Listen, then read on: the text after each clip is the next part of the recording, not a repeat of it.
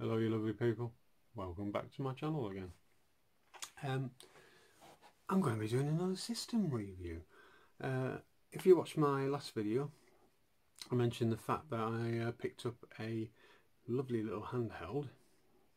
Uh, I actually went over to uh, Tunbridge Wells this time to CEX to get this. Um, it was the only one sort of nearby to me that they had in stock and uh, I really don't like getting things for the post to be honest if I can possibly avoid it.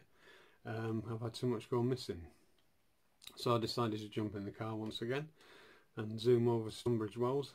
Me and my boy had a bit of a road trip and uh, we went and picked it up. Now this is the little beauty, he says, find, trying to find it. Uh, this is the little beauty here and uh, I know what you're going to think as soon as you see it. But that's a bloody DS or a 3DS. No, it's not. No, definitely not. Uh, as you might notice, there is no cameras. It is uh, the same type of shape, shell, if you like. As you can see, no markings on the bottom.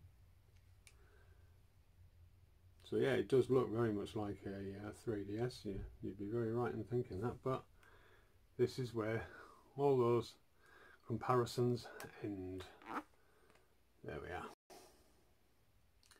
This is in fact the GPD XD. Now this is the uh, the original GPD XD. There has, uh, since this one was released, there has been a, a, an upgrade, if you like, um, called the GPD XD uh, Plus. Uh, it looks exactly the same as this original model, exactly the same. Uh, the only difference is under the hood. Um, it has uh, more RAM, it has a faster processor. Uh, uh, this one can't run, for instance, the um, the GameCube emulator Dolphin, whereas the new one can although it apparently has a lot of flaws and uh, uh, most people consider this to be the better of the two even though it can't run the GameCube games. So yeah, that is what it is, to the GPD XD. Whoa, let's try and do this without dropping it. So yeah, you can see obviously it looks like a DS that way internally, um, sorry under the under the screen if you like. Uh, it doesn't look like it at all, does it? I mean, you got you got two, you know, where the where the second screen would be on a DS, You've got the the two directional pads here, and you got a whole array of buttons here, which is home screen, volume, and so on. Uh, and then obviously to put it into sleep mode. Um, here you've got the uh, you know the buttons, your usual action buttons, and there you've got a lovely little. Uh, I always call it a, a plus symbol, but of course it's the uh, yeah it's the uh, the uh, standard um, directional pad. Uh, and here we have more buttons with your on, you know, sorry, start, select and so on. So yeah, and, and this one here is actually just uh, the branding and it also, I believe, has a little magnet in it which uh, then turns the screen off when you shut it. Just under this metal strip here. So yeah, as you can see, it's a lovely looking thing. And the screen on this is absolutely Fantastic. But what does it do, I hear you ask? Well, it's actually an Android device. Um, and I know a lot of people say you should stay away from this type of Android device. You know, it's going to be out of date in no time and all this. But to be quite honest, um, it's an emulator's emulation person's dream. It really is. It's fantastic for emulation and uh, you know, all right, the, the emulators, you know, they they carry on being updated even past the uh, the software, and that's maybe uh, of the Android that you're using, um, you know. But at the end of the day, this is already doing all those emulators. Fantastic. And you have two ways of going about it as well. Um, you have the built-in emulators, which are under the Happy Chick app. You know, you can go on there and play them all straight out of the box or you can do what I've done with a lot of them and you actually purchase the uh, the full um, apps from the App Store which is what I've done donkeys years ago I bought all of them that I wanted obviously. Uh, there's a very few still out there that I probably haven't bought yet but the majority of them I bought. Fully paid ones and they run like an absolute dream and I'm getting all the updates still on this and even when the updates stop it's still playing absolutely fantastic so I'm sure I won't really care you know uh, there are certain things that don't run very well on here obviously when you watched my um, my Nintendo Switch controller running with my Huawei P30 Pro um, the um, Atari Jaguar emulator was running perfect. There was just no flaw in it whatsoever, absolutely perfect. On here, it runs like a bitch. It's very slow and laggy and basically unplayable. Uh, but that is really the, the only one I've come across. Maybe one or two of the PSP games run a bit slow um, on the PSP emulator. Um, again, they run flawlessly on my Huawei P30 Pro. Um, but on here, yeah, one or two games I've come across play a bit laggy, but uh, the majority of them are, absolutely fine. Perfect, in fact. You know, I was playing uh, Shadow of Memories, or as it's known in America, Shadow of Destiny, and it was running a treat, and that's quite an intense uh, graphical game, and uh, it ran superb on here. So yeah, it may have its limitations in the future, but as long as you've already got everything on there and running, I can't see it ever being a problem, to be honest. Yeah and it's come down in price a lot. This this version has come down in price a lot. I remember when it was first released, uh, which is some years ago now. I think probably about four years ago, if not more. Um, it was it was priced at about 190 pounds, something like that. And uh, you can, I mean, I picked this one up for 105 uh, from CEX, but of course it's a, uh, a pre-owned. No box, didn't have the original charger, um, and it's got a few marks on it and uh, it's only the 16 gig, uh, internal memory 16 gig uh, I've got a 32 gig card in it um, and you can also get the bigger model which is a 32 gig I believe and then there's the uh, the premium one which is 64 gig which is uh, red I believe on this this model I used to have the red one a long time ago. Uh, I broke it, so I had to go and get another one, basically. Yeah, I do miss that one. It was beautiful. Absolutely stunning in red. But, you know what? This will be fine too. So what we're going to do in a minute is we're going to uh, have a look at the emulators and uh, see what they're like running on here. I've got a wide range of scope for you to see. So yeah, let's shut this up for a bit. And uh, I'll see you in a minute with uh, a look at the emulators running on this beastie. See you then. Right, welcome back people. Um, as uh, Stuart Ashen would say, and well in his case it would be uh, welcome to the brown sofa, welcome to my beautiful brown game room carpet.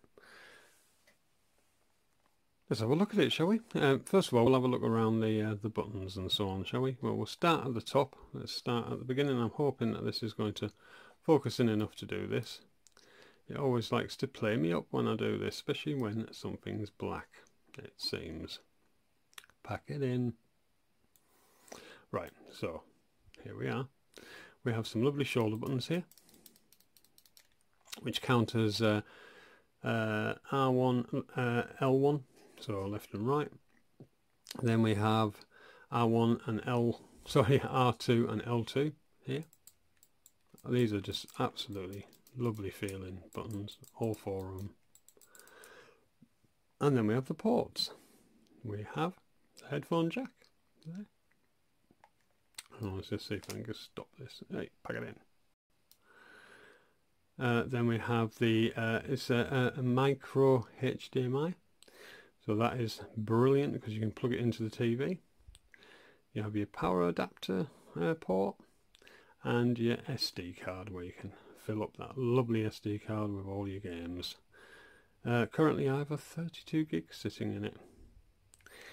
Right on the back, oh sorry on the bottom, very boring.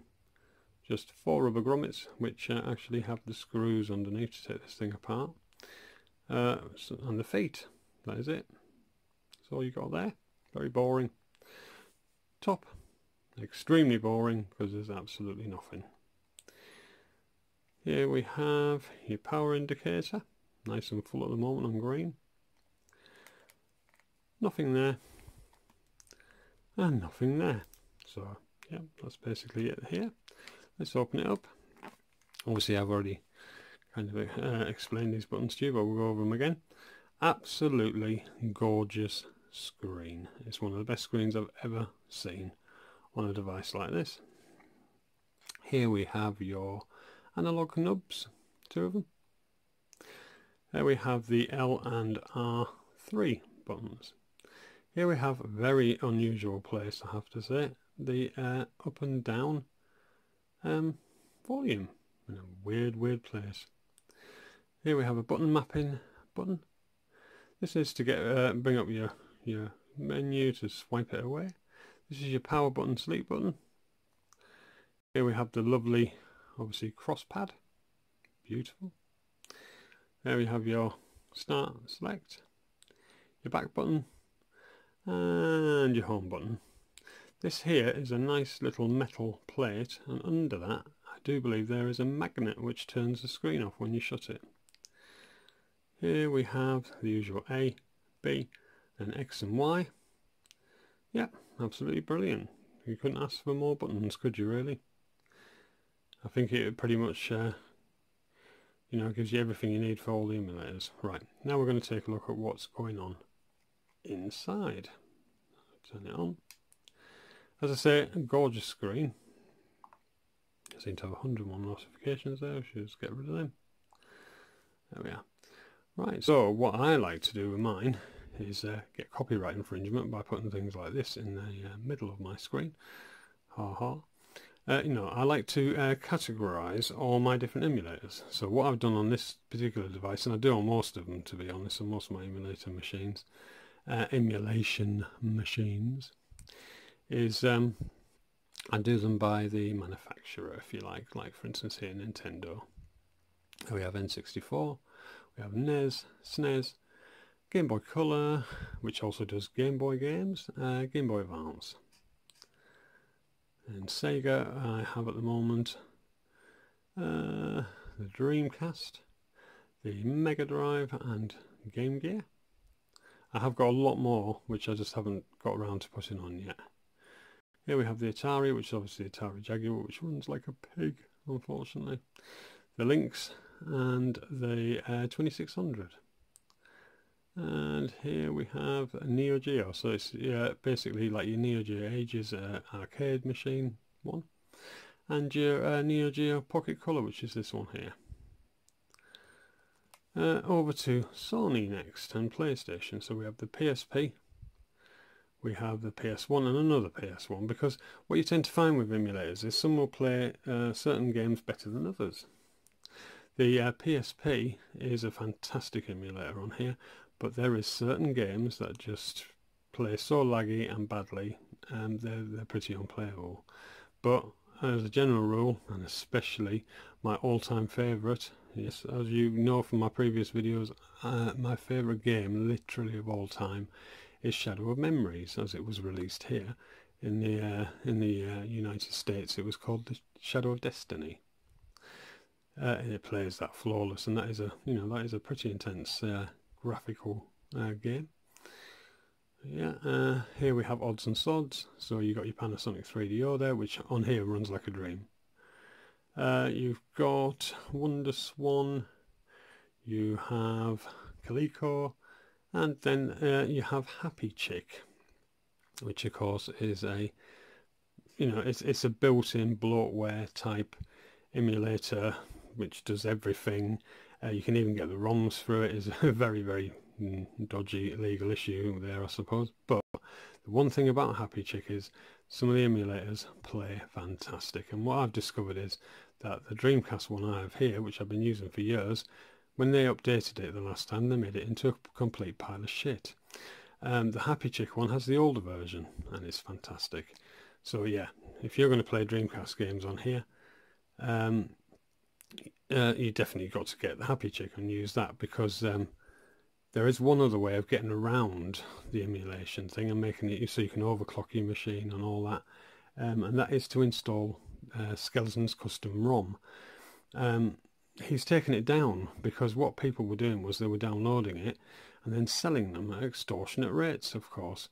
Um, so unfortunately, um, he's he's taken the link down for that. And uh, I mean, I didn't have any intention initially to do that to this, but um, I said to my son the other day, I said to him, you know what, I, I want to play Saturn games on here, for instance, which are running like a pig on here, um, and Skeleton's ROM, uh, custom ROM, sorts that out. You know, his custom OS on top of it makes it into a vanilla Android experience, and you can overclock it. Um, it claims it, it, roots it, but to be quite honest, it's rooted already.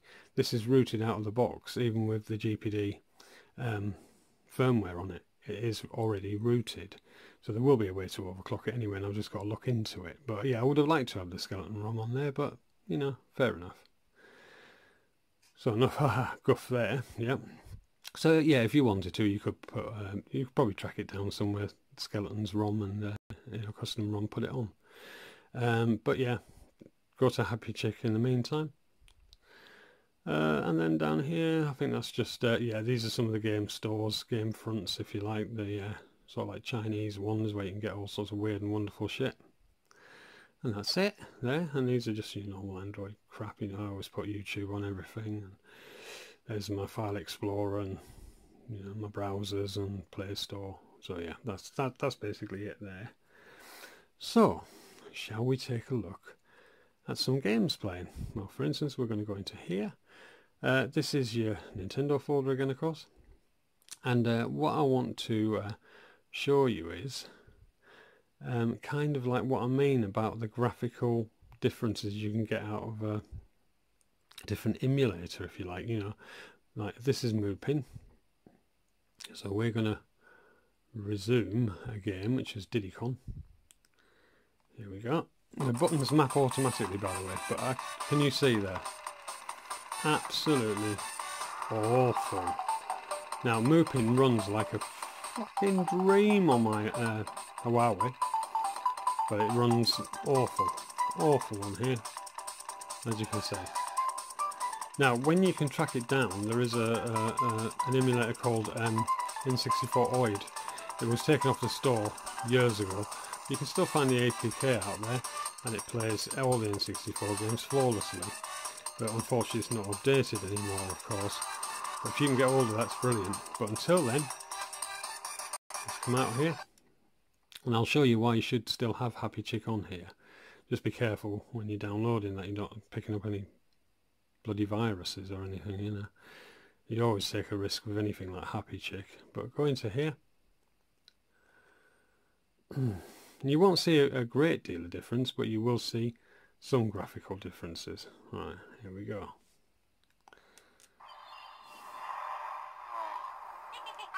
Obviously try and get us to the point where we left off on the other emulator so I can actually show you the difference. Oh, come on you.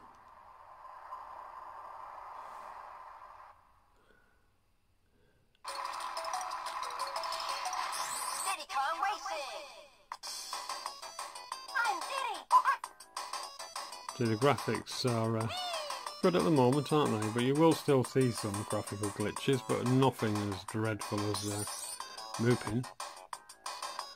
Because it's not Mupen's fault. Mupen is absolutely fantastic, as I say, on my phone.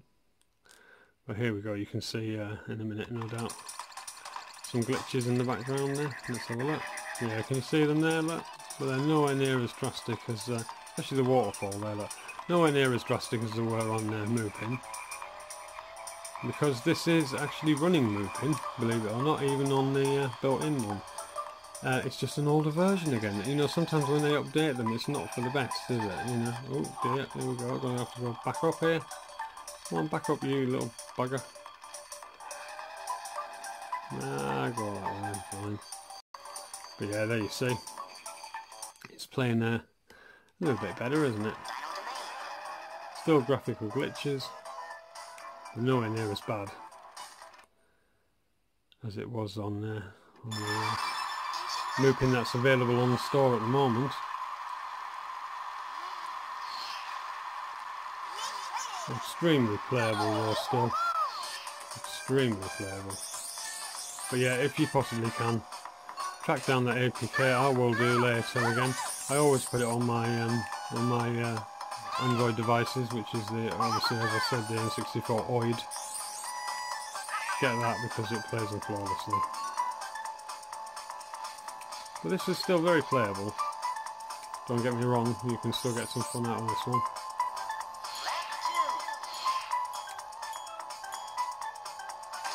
Right, we're going to come out of that because we won't have time for everything else if we don't. So yeah, that's your N64 emulator. I'm only going to show probably one game from uh, certain emulators. I won't even show you all the emulators because we would be here all night, I presume. So let's come out of uh, Happy Chick. Right, next one I'm going to show you is, let's go back in and do some more Nintendo. Um, blah, blah, blah. Game Boy Advance. Look, let's have a look at Crash Bandicoot. Now I've got to remember there's a certain button that kicks you out of the game every time. I've got to remember not to keep pressing that. I've got a feeling it's the B button. But anyway, here we go. As you can see, it looks stunning. Absolutely stunning. And runs flawlessly. As long as you don't hit that stupid back button.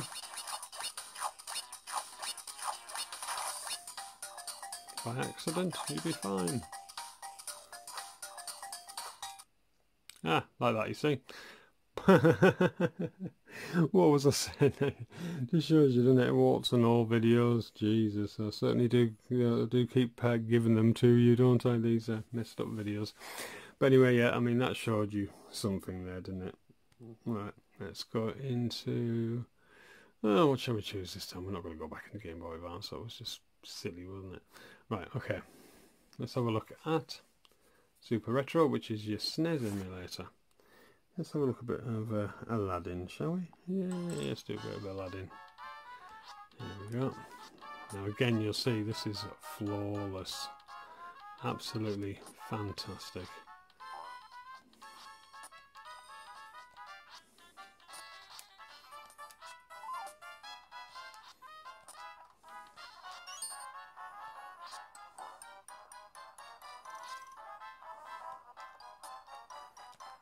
Oh, they ain't got me.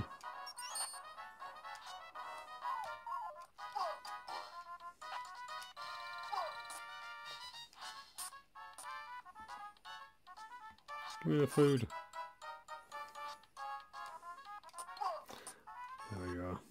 You can see that was absolutely spot on, perfect sound and uh, visuals. And again, and we'll take a look at NES games.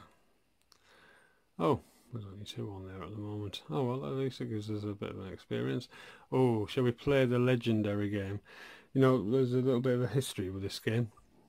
It is actually considered, mm, well, one of the one of maybe three or four rarest games ever and Little Samson is one of them, especially if you get a box copy. I mean, the, even the um, you know the cartridge on its own is uh, crazy money, especially in the United States. So let's have a look at one of the most expensive games in the world, shall we? Little Samson. Again, button. Look, the buttons disappear as soon as you press it. The on-screen buttons vanish because they are very annoying.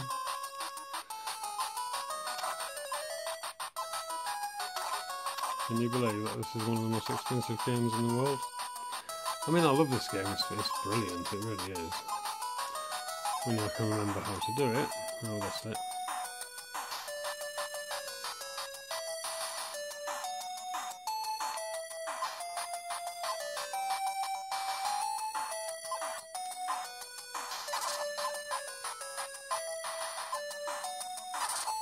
Oh dear.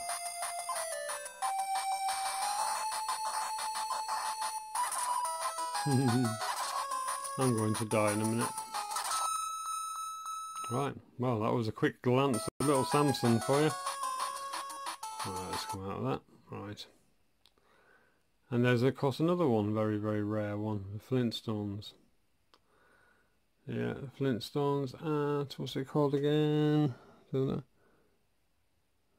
Dinosaur Peak or something? Yep, yep, Dinosaur Peak. Right, let's come out. Let's go down to the Sega folder. Let's have a look. Uh, let's go up to. Have I got any Mega Drive games on here? I'm not too sure. Let's have a look at GameCube and GameCube, Game Gear. Right, let's have a look at. Mm -mm -mm. What we got here? Uh, Bust-a-Move. Let's have a look at a simple puzzler. Oh dear, looks like I died there, doesn't it? That was a continue there. Right, let's see.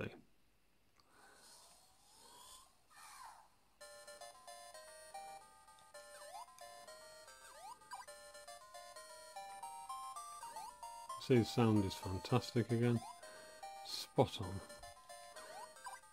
All this, although this is a very uh, slow game anyway, it shows you exactly how brilliantly uh, it runs on here as well. I'm going to die on purpose. And bang. One more. Ah. Yeah, absolutely brilliant. So that is uh, some of, some of them we've looked at there. I'll tell you what, we'll have a look at the um, Neo Geo Pocket, I think. And um, the 3DO afterwards again. To show you just how well it actually does work on it. Let's have a look at... Do, do, do, Let's have a look at... He says... Of course, as you, as you all know, I have all of these uh, consoles in my collection. So yes, I can get the original game and play it. So no, I'm not uh, a naughty, naughty pirate. Uh, let's see what we can. Oh, let's go for this one. No, I've just picked any random one, and it's King of Fighters something.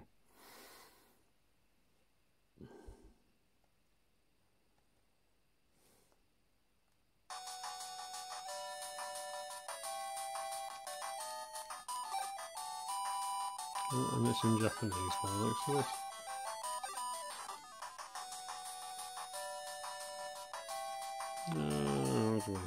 Say? Because I can't read this, I don't know. Hmm. Yes, that'll do. Thank you very much. Yeah, I should have definitely clicked on one that had English text, eh? But it's only just to show you quickly anyway. Oh, this appears to be some kind of a board game. Yeah, that wasn't a good idea, was it? Let's uh, quit that one, I think. Yeah, close game. Right. We'll pick a different one. Uh, ah, here we go. This one. We'll try this one. Fatal Fury.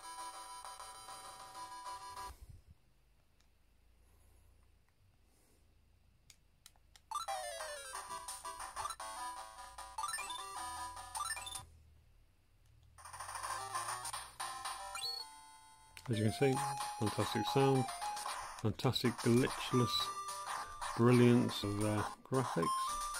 Oh this is just this is just brilliant. It's like playing the original thing. Fantastic again. And a fantastic uh, emulator. Wow. That is just brilliant. I'm playing badly though. Yeah, so that was that one. Yep I do want to quit. Thank you Right, I said we'd take a look at. Oh no, we're going to take a look at the PlayStation Portable first, the PSP, because I'm going to show you my all-time favourite game. So in a way, we could do a little bit of a review of my all-time favourite game while we're at it, couldn't we? Now, of course, the version I've got here, he says, grabbing his vape machine quickly, is the American version, because as I explained earlier, um, my all-time favourite game of all time in uh, in England and in Europe as such, it was called Shadow of Memories, but it was released in the United States as Shadow uh, of Destiny. So we're going to take a look at that. He says just quickly grabbing a vape.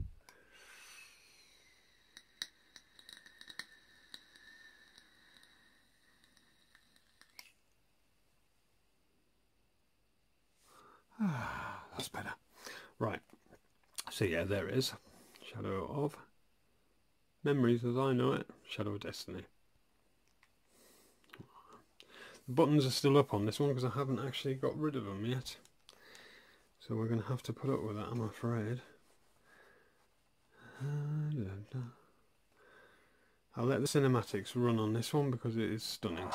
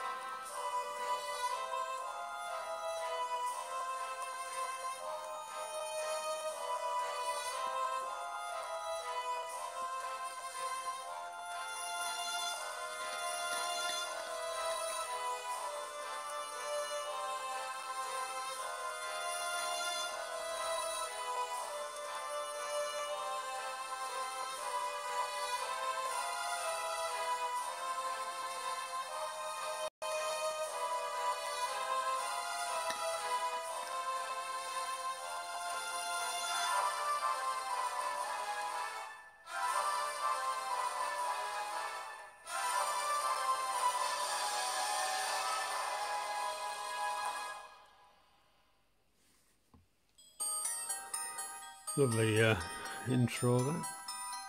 As I say, my all-time favourite game. Uh, basically, the uh, the idea of it is uh, you uh, get murdered at the beginning, as you'll see in a minute, and uh, you got to kind of time travel to find out who bloody killed you. Basically, you got to find the little screw that stabbed you to death. I'll show you that bit now, as you get killed. Very, very underrated game this. Uh, at the time all the reviews were very, very positive. But um, hardly anybody ever remembers it these days and it's very underrated. Gorgeous looking game.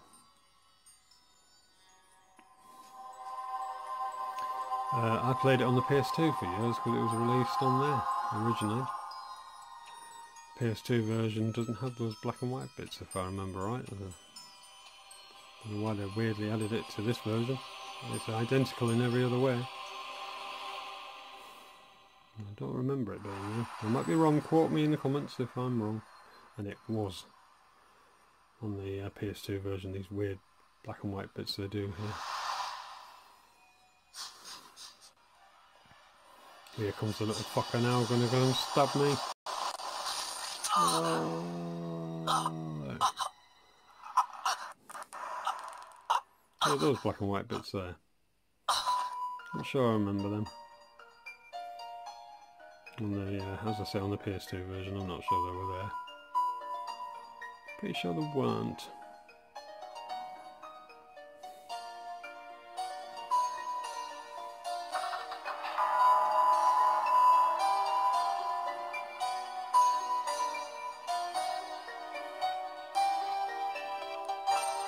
Yeah, I'm dead.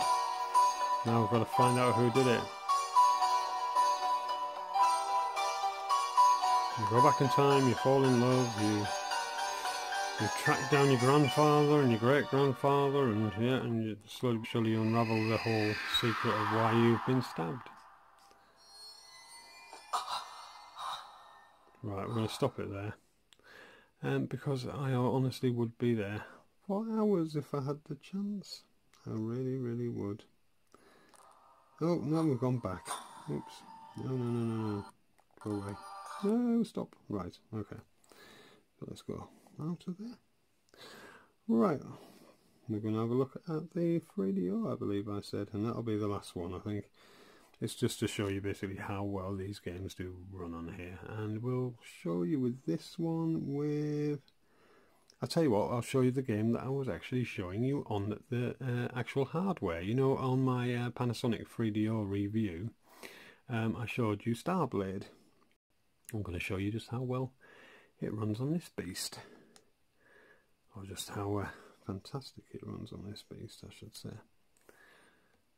compared to the actual real hardware. And, of course, the version that was on the... Uh, I was playing with the Nintendo Switch Pro Controller on my phone.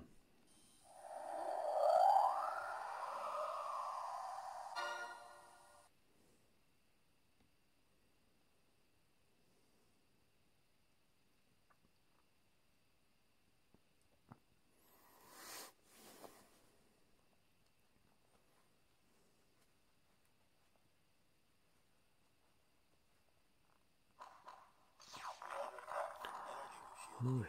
Yeah. Oh, come on, you.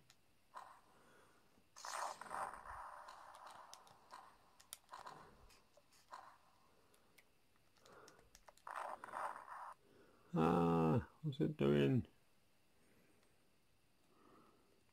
Sorry, people. Let's continue here.